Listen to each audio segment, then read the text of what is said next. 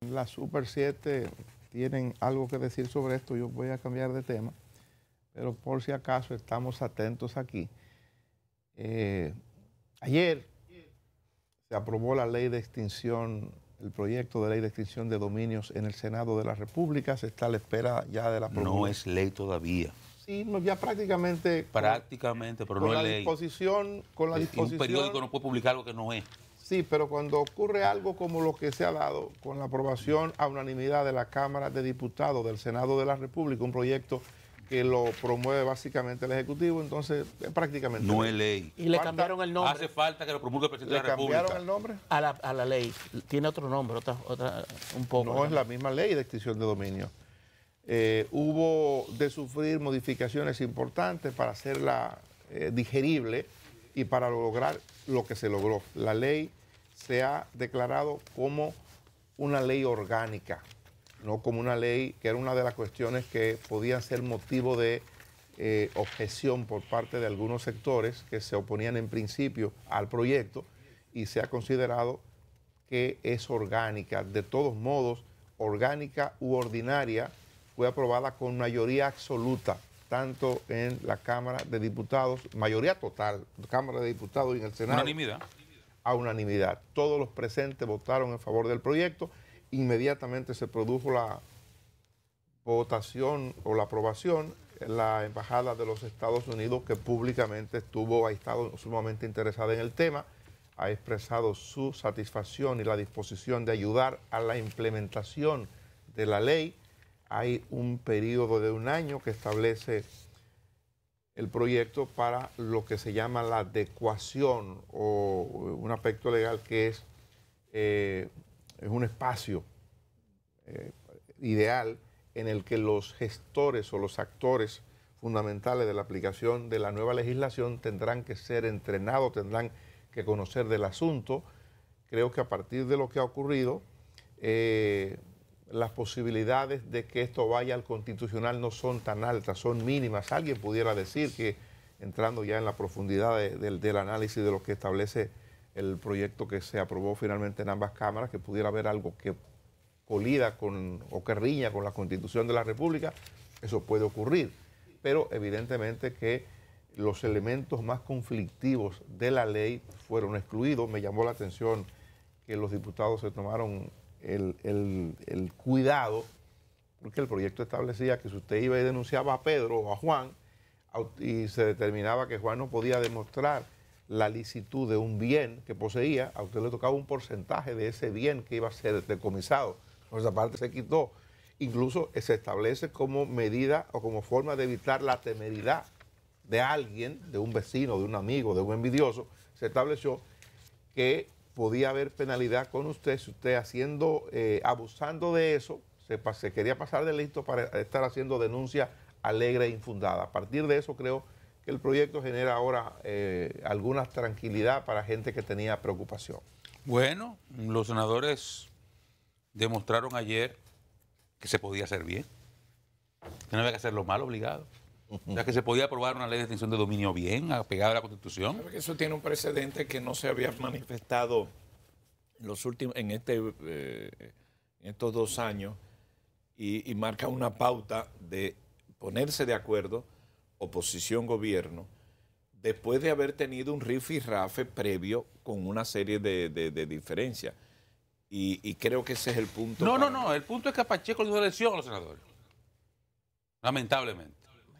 Y yo creo que eh, a quien más debe anotar, y lo digo con todo el cariño del mundo, y él sabe que le tengo un aprecio enorme, don Eduardo Estrella, que careció en su momento de liderazgo para hacer lo que Pacheco hizo. Para el, el populismo, decir, deme un chance populismo. Póngaseme aquí al lado populismo, usted no cabe en esta sala. Aquí tenemos que ser gente de Estado que actuemos como estadistas.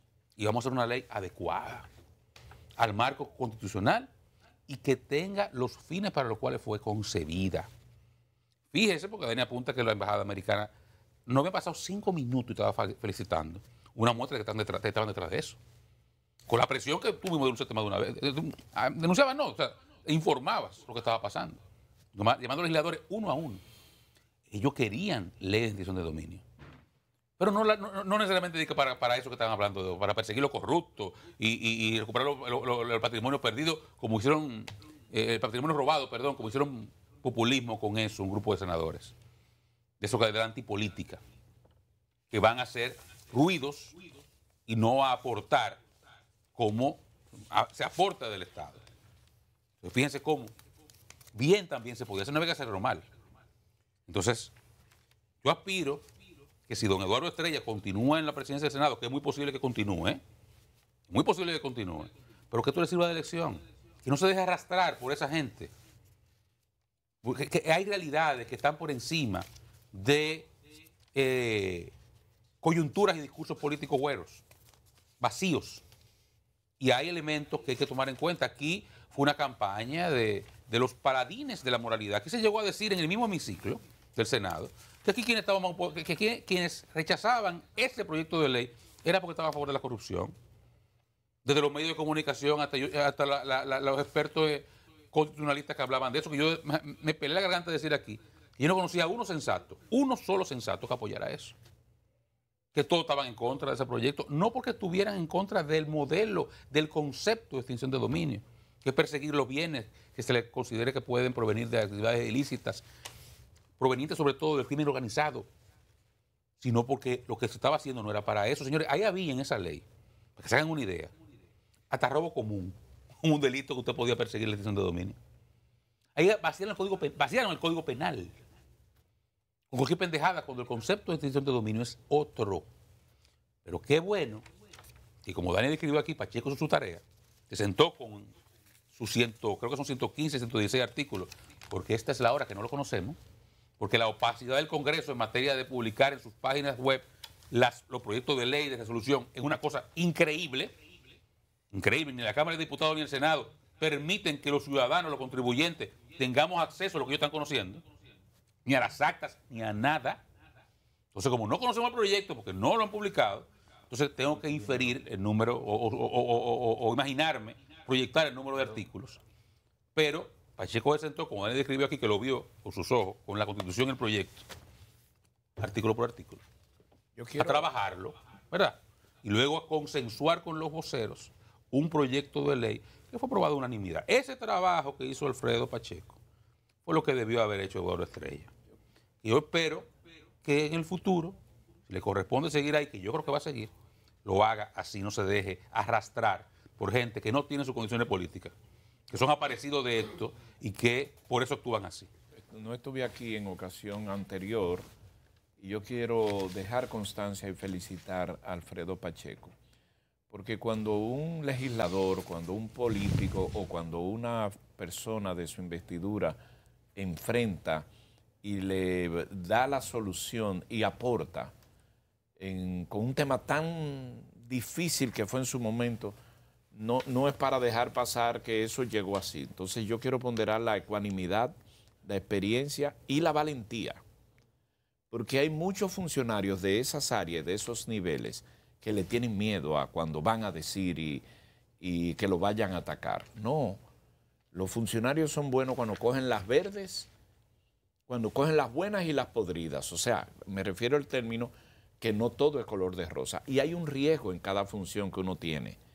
Y yo quiero felicitar a Alfredo Pacheco por esta, por, liderar una solución en las dos cámaras, que tal como ha descrito mi compañero, aquí la clave fue, señores, cuando yo vi eso ayer, todavía hay quienes se oponen a esto, pero cuando yo vi eso ayer a unanimidad, yo dije, oh, se hizo una tarea eh, de no de convencimiento, porque ustedes saben que la oposición está ahora asumiendo su papel y no es verdad que iba a dejar una brecha para que, para que eso quedara así. Vi en Impuso la una parte de la prensa hoy una observación muy responsable y racional que hace el senador Alexis Victoria ayer, en el sentido de que ese proyecto no, el propósito no es, no es perseguir los robados como, como se ha vendido. Se vendió así como una manera de ganar eh, aceptación del proyecto. Aquí tenemos legislación para perseguir los robados, Claro, claramente establecida y están ahí y fuertes. Ese no es el problema. El problema de la ley de extinción era, como ya se ha explicado, eh, algunos bienes, básicamente bienes que con la preocupación que hay por el tema del terrorismo, por lo de trata de personas, por el narcotráfico, viene que se adquieren al amparo de esas figuras y que no tienen justificación ni sustento perseguir eso. O sea, esa es básicamente la preocupación internacional sobre la ley de extinción de dominio. Eso es lo que ha movido a la Embajada de los Estados Unidos y la ha mantenido tan activa en el proyecto. Básicamente, lo otro no.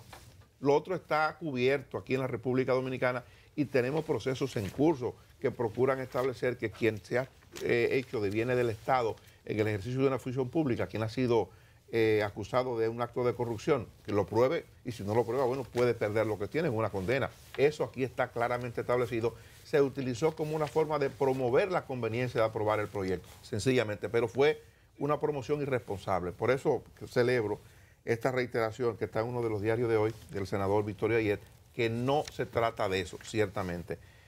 Que más adelante yo pienso que hablaremos sobre la preocupación del gobierno, del Ejecutivo, que ha creado una oficina legal, una oficina de abogados para perseguir lo sustraído.